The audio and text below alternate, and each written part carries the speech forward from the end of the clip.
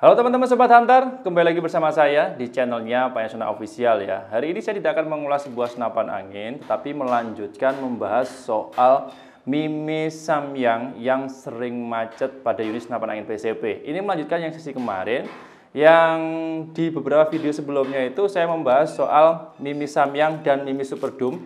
Saya bandingkan ketika ada komplain dari teman-teman Sobat Hunter yang kemarin menggunakan Mimi Samyang kok sering macet ya Kemarin sudah saya buatkan videonya dan ada feedback, ada komentar yang masuk yang diapresiasi oleh teman-teman Sobat Hunter. Sekaligus saya ingin menunjukkan bahwa uh, beberapa pengalaman pribadi saya dengan beberapa teman-teman itu berbeda. Yang akan saya bahas di sini nanti adalah dari sudut pandang pribadi saya soal mimisam yang lancip ya. Kenapa kok bisa sering macet? Pada unit senapan angin PCP? Pastinya akan saya jawab di video hari ini. Simak video sampai habis dan jangan lupa like, share, subscribe, dan nyalakan loncengnya channel Pansuna Official terlebih dahulu supaya teman-teman tidak ketinggalan updatean video menarik dari saya. Sudah siap? Kita coba langsung saja masuk ke detail videonya.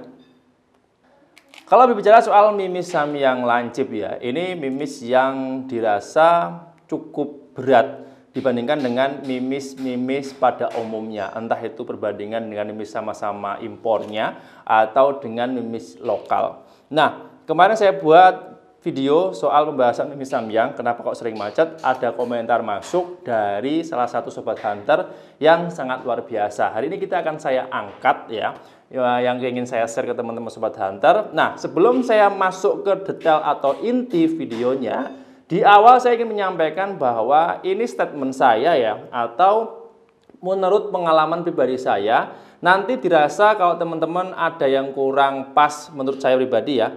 Uh, kalau menurut teman-teman apa yang saya sampaikan kurang pas, kurang setuju atau pengen nambahi silahkan tulis di kolom komentar. Kan di, di sini saya sifatnya hanya sharing-sharing saja ya soal senapan angin dan terutama mimisam yang lancip. Oke, okay. Beberapa waktu yang lalu ada salah satu komentar dari Bapak Putra. Ini saya tunjukkan videonya ya. Nah, ini Bapak Putra kemarin mengomentari yang video lagi-lagi senapan angin PC Bocap dikomplain karena mimis yang macet ya. Ini komentar beliau. Kalau menurut saya bukan dari tekanan angin tertentu, bukan semata-mata karena beratnya, lebih kepada diameter mimis samyang yang lebih besar dari mimis kebanyakan diameter mimis samyang bisa sampai 4,5 mm. Itu artinya titik gesek antara mimis dan laras sangat berat. Apalagi eh, ID laras yang dipakai kecil misalnya 4,3 sampai 44 mili. Saya juga pengguna bocap tapi di 900 PSI tetap keluar malahan dengan samyang asal settingan dan pemilihan laras tidak asal. Terus eh dilaras harus agak longgar. Nah, sebelumnya terima kasih banyak untuk Bapak Putra sudah berkomentar, sudah memberikan pengalaman menurut pengalaman pribadinya Bapak Putra ya. Semoga sehat selalu Pak dan saya sangat mengapresiasi bahwa komentar ini luar biasa terbaik ya. Ini kalau sudut pandang dari Bapak Putra. Nah, sekali lagi terima kasih banyak Bapak Putra sudah berbagi ilmu, sudah berbagi pengalaman. Siapa tahu teman-teman yang nonton video saya hari ini nanti dapat pencerahan, terutama penggunaan mimisam yang lancip ketika diaplikasikan pada unit PCP apa pun itu, predator taktikal ataupun yang lain. Nah, oke, okay, saya ingin menambah ya. Sebenarnya mimisam yang ini tidak macet kalau penggunanya tepat biasanya yang pemula itu eh, penggunaan mimis ini kurang tepat karena tidak sesuai pada ukuran atau takarannya. Maksudnya seperti ini.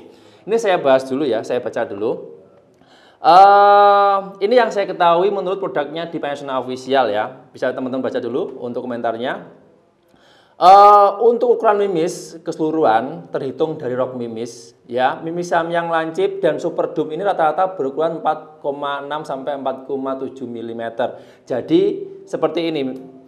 Mimis ini ya samyang dan mimis super doom ini rata-rata kalau teman-teman buka ya sama uh, teman-teman lihat untuk perbutirnya itu dia kan pasti ada kepala, ada cincin ringnya kalau pakai ring, terus yang belakang itu pakai roknya Nah, roknya itu mekar.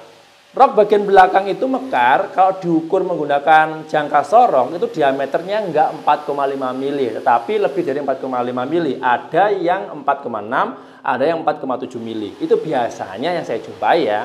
Ada juga yang di bawah 4,5 mili, 4,3 ataupun 4,4. Itu ada.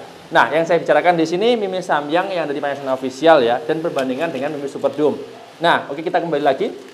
Nah, ketika mimis yang 4, mili itu kalau dilihat dari mata ini ya, langsung per butirnya, kalau roknya mekar itu sekitar 4,6. Ya, anggap saja 4,6 lah ya. Nah, ketika nanti dia masuk ke dalam laras, barulah ukuran roknya itu mengecil mengikuti rongga dalam laras sehingga ukurannya dari semula yang di luar masih di kalengan ini ya, 4,6 sampai 4,7 mili masuk ke dalam laras jadilah 4,5 mm. Nah, Kenapa? Kalau sama-sama masuknya ke dalam laras ini sama-sama ukuran 4,5 mili, kok mimi samyang ini bisa macet di tekanan angin tertentu? Jawabannya mudah. Mimi samyang ini bobotnya 16 grain kurang lebihnya. Kalau dibandingkan dengan mimi super doom, ya, itu bobotnya lebih dari hampir separohnya ya. Mimi super doom ini 8,3 grain. Kalau yang ini 16 grain. Kalau dikalkulasi separohnya lah ya, lebih berat dua kali lipat mimi samyang lancip. Nah, Ketika mimis samyang ini lebih berat, alhasil untuk kepadatan per butir mimis itu lebih keras mimis samyang dibandingkan mimis super superdome. Sehingga ketika masuk ke dalam longga laras, ya mimisnya ini masuk ke dalam laras, memang mengerucut jadi 4,5 mili. Tetapi untuk daya dorongnya itu keras banget. Dan untuk mengeluarkan mimis samyang itu dibutuhkan power yang lebih ekstra dibandingkan menggunakan mimi superdome karena teksturnya itu agak lembek ya. Jadi tekstur mimis, bentuk mimis itu juga berpengaruh dari daya dorong nanti yang e, senapan angin masing-masing teman-teman ya. Itu untuk mengeluarkan mimis itu harus disetting dulu. Nah, biasanya saya sebutkan di awal video yang tadi atau di beberapa video sebelumnya Mimis samyang ini rata-rata harus menggunakan mimis PCP, rata-rata ya. Uklik itu bisa tapi kurang efektif.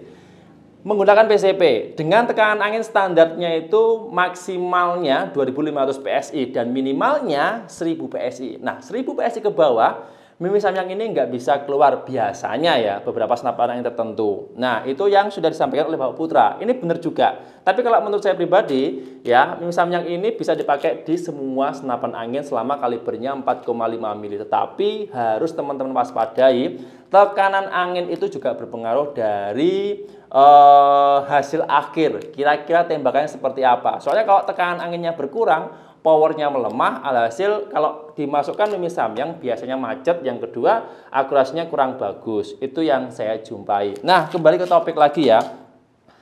Tingkat kekerasan mimis per butir, samyang ya terutama, itu kalau semakin keras, semakin berat, itu untuk daya cengkramnya di dalam laras itu semakin kuat. Sehingga ketika nanti dia bergesekan dengan ulir di dalam laras, itu e, memiliki tenaga yang ekstra untuk mengeluarkan mimis dari lubang laras itu. Jadi kalau tekan anginnya kurang, terus settingan powernya kurang tepat, iya dorongannya lemah, alhasil mimisnya nggak mau keluar. Itu yang biasanya terjadi.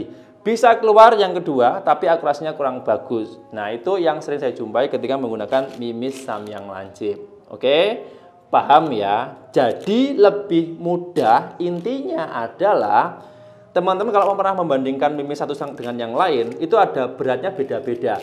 Semakin berat mimis, ya, semakin berat mimis, itu semakin padat uh, material yang melekat pada unit mimis tersebut. Jadi per butir mimis itu ada beratnya masing-masing nih. Kalau teman-teman timbang berapa grainnya, semakin banyak grainnya itu semakin berat. Dan semakin berat grain itu semakin keras per butirnya. Nah, kalau semakin keras untuk mengeluarkan mimis di dalam laras itu memerlukan dorongan angin yang lebih ekstra. Itu yang saya jumpai di lapangan. Nah, silahkan bagi teman-teman kalau apa yang saya sampaikan di sini kurang tepat, bisa tulis di kolom komentar. Kalau ada yang pengen nambahin silahkan. Jadi jawabannya Bapak Putra ini betul. Untuk mensiasati itu kalau teman-teman nggak mau ribet, itu bisa diganti laras dengan yang uh, ngikutin ukuran mimis samyang. Itu ada. Maksudnya ulir di dalam larasnya itu tidak terlalu uh, apa namanya tidak terlalu lembek. Jadi hasil agak longgar ya untuk menghasilkan tembakan di tekanan angin berapapun. Tapi standarnya yang ada di Indonesia terutama senapan angin senapan angin yang ada di nasional official itu rata-rata memakai laras standar baja dari pabrikan yang ukurannya itu standar 4,5 mm dengan ulir dalam larasnya standar ada yang 9 ada 9 ulir, ada yang menggunakan 12 ulir. Itu yang saya ketahui. Jadi teman-teman silakan nanti kalau pengen diskusi atau sharing di Panasonic Official siap membantu atau mungkin teman-teman yang punya komunitas bisa berbagi informasi sama komunitas yang lain supaya nanti teman-teman yang mungkin pemula bingung nih mengatasi mimis kok samyang ini sering macet atau sering akurasinya kurang bagus jawabannya sudah saya sampaikan di video ini semoga bisa membantu dan bermanfaat Oke, terima kasih banyak untuk teman-teman Sobat Hunter yang sudah menonton video saya hari ini. Sekaligus terima kasih banyak untuk Bapak Putra sudah berkomentar luar biasa, sudah memberikan uh, informasi yang sangat bermanfaat. Sehat selalu untuk Bapak Putra yang sudah berkomentar di video hari ini, tetap terbaik dan luar biasa. Saya juga mengapresiasi bagi teman-teman Sobat Hunter yang mau berkomentar dan memberikan edukasi menurut pengalaman pribadi masing-masing. Soalnya untuk saat-saat ini ya, informasi soal senapan angin itu jarang sekali dijumpai. Ada tapi ada yang kurang lengkap. Terus ada juga yang membahas detail tapi untuk penontonnya kurang karena memang videonya nggak ditemukan. Nah, di video nanti di next episode akan saya perbanyak soal edukasi seputar senapan angin supaya teman-teman nanti yang pemula itu mudah menggunakan yang pertama, yang kedua nggak bingung bagaimana cara pengoperasian. Yang ketiga bisa mensiasati kalau ada kendala dan sebagainya. Terus yang keempat teman-teman bisa lebih pede menggunakan sebuah senapan angin dan tidak khawatir ada kendala yang dirasa itu cukup mengganggu. Jadi itu ya informasi yang saya sampaikan di video hari ini semoga bisa membantu dan bermanfaat bagi teman-teman yang suka dengan channelnya Pancasona Official bisa langsung like, share, subscribe dan nyalakan loncengnya channel Pancasona Official juga dan teman-teman bisa meninggalkan komentar positif di kolom komentar. Oke, itu aja. Terima kasih banyak untuk yang sudah menonton. Sampai jumpa di episode berikutnya. Sekian terima kasih. Salam satu laras dari Kediri, Jawa Timur.